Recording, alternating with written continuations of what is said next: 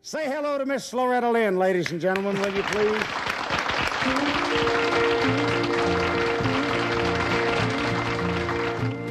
Beneath the snowy middle, cold and clean, the unborn grass lies waiting for its coat to turn to green.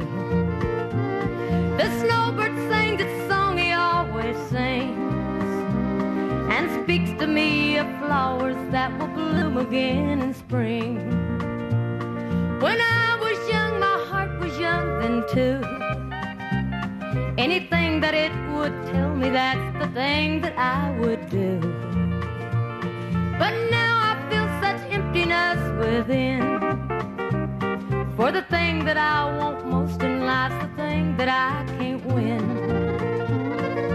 Spread your tiny wings and fly away. And take the snow back with you where it came from on that day.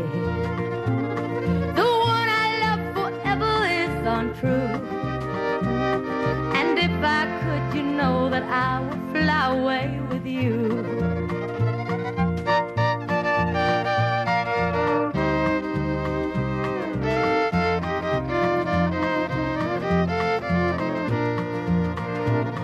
The breeze along the river seemed to say that he'll only break my heart again should I decide to stay.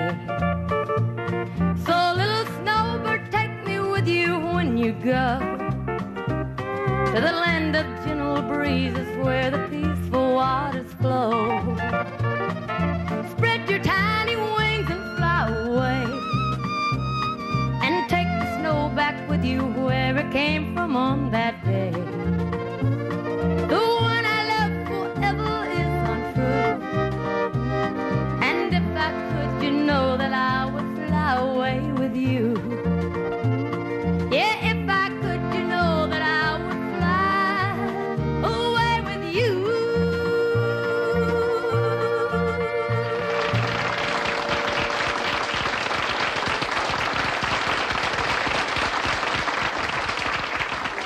Oh, that's fine. Loretta, a real great job on a great song. You recorded it in one of your albums, didn't you? Yeah, and did an awful job. Yeah, uh, an awful good job, I would say. No, an awful bad one. No, I think it was good.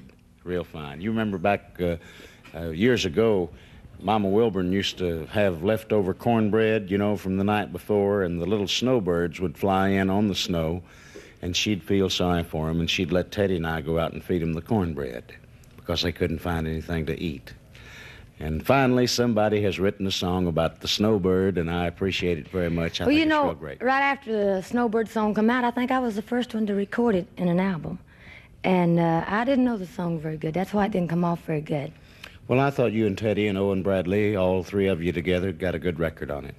Good, real good record. Well, thank you. Okay, friends.